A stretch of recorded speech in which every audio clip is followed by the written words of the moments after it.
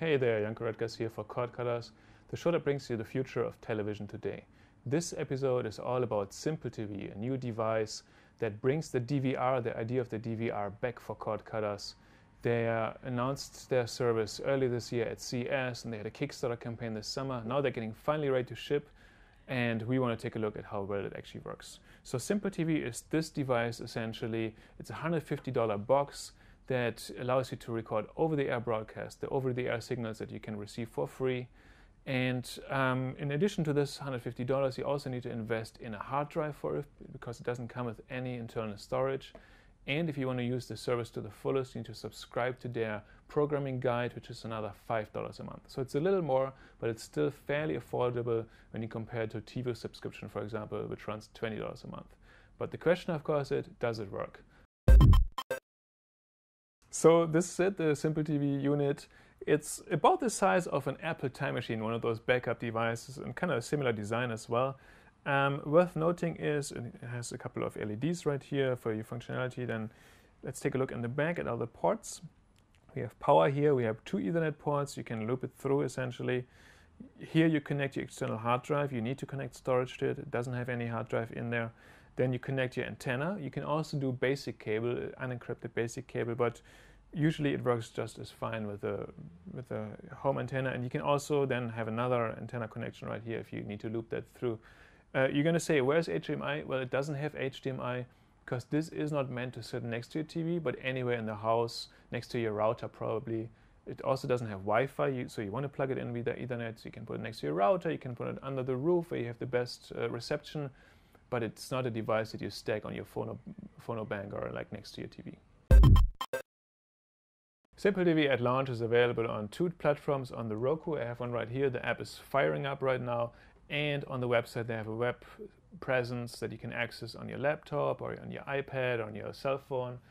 On the go, as well as at home, so it also streams out of your home network if you're at the office or somewhere else. And the Roku box is, of course, to get all the stuff, the DVR functionality in the living room.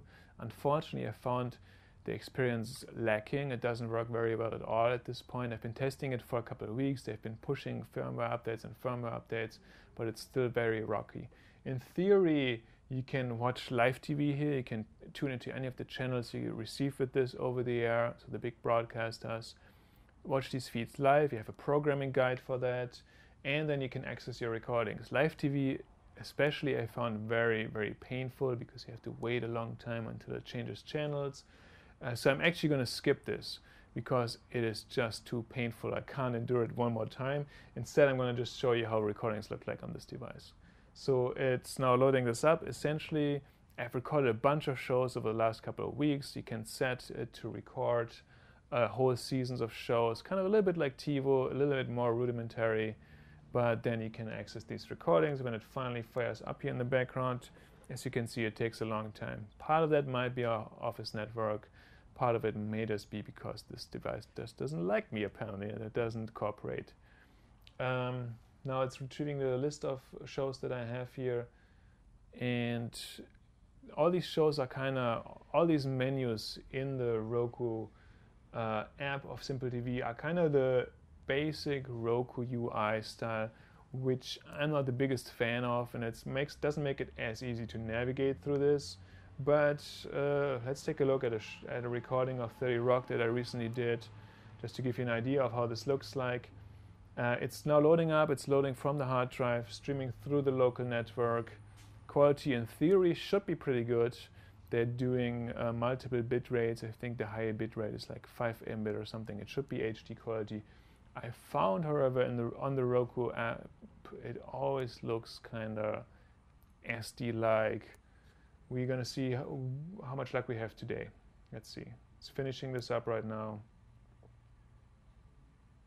And of course, if you compare this to a local DVR cable box, much more instantaneous experience.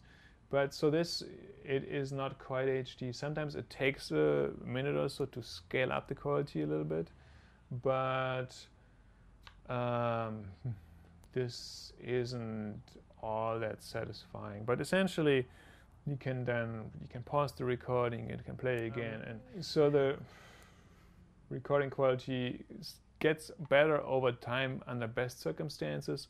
But as I said, on the Roku app, I found it over a kind of lacking and not the best experience. So let's get out of it and let's take a look at how this looks like on the web because believe it or not, actually it works better on the web. This is the Simple TV website right here. On the iPad it looks similar, but I'm recording it on my computer right now. Essentially, you're seeing a list of the channels that are on right now here on the left for live television. And you see I am recording an episode of 30 Rock right now. If you want to tune into this while it's recording, we can do that right here. And it's firing up. Sometimes it takes a little second on the website as well. Uh, but there you go. You can watch it here. Uh, minimize. You can you can. I could blow up this now into full screen mode, of course. Uh, why not? Let's do this. You only get a part of it, but just gives you the idea. You can pause it. It's a DVR, so you can do all these kind of things. I could, in theory, change the channel as well and stop my recording. I have a whole bunch of other local channels. At my house, I get about 50 channels with this device. It depends really on where you are. And uh, aside from live, you have a guide here, a TV guide that helps you to schedule future, future programming so you see what's on today or you can see what's on tomorrow. And, and then you can also search for shows by title and then schedule any of them to record as single episodes or whole seasons. And I've done this with a bunch of stuff, as you can see in this tab. That is my shows. This is a big mix of random stuff in a way but uh, just give you an idea again. Here the cat in the hat one of my daughter's favorite shows. You see uh, i have 14 episodes recorded and i can watch any of these now. Just stream them to my pc again. And uh, it's opening up after a second. And um, i can blow it up into full screen again if i wanted to but i'm just going to go back now and you also see there's future episodes and all kinds of stuff there's a bunch of basic settings. Basically, they don't allow as much flexibility yet as a TiVo, where you can be very, very, you can, for example, the racing of the shows. TiVo is very good at saying, I want to keep this show forever, I want to keep just three episodes, I want to just keep it until I run out of space. This is still missing from this. Uh, it's, it's much more basic, and it just kind of tells you what kind of devices you have and what kind of uh, storage you have. So this is basically the website. As I said, uh, I found it to be working considerably better than the Roku app. Sometimes it doesn't work either. I, have, I ran into some issues just with the overall device when it's not available. But overall, the web experience is pretty okay. So this is Simple TV on the web as well as on the Roku device. I think it's an interesting device, has uh, potential in the future, but at this point I can't really recommend it uh, to buy, especially if you want to buy it, if you want to get a DVR for your Roku box, it just isn't there that, and it's just too painful of an experience. If you want to stream to your iPad, maybe you can look at it. It's an interesting service for that. For the Roku, I would say no.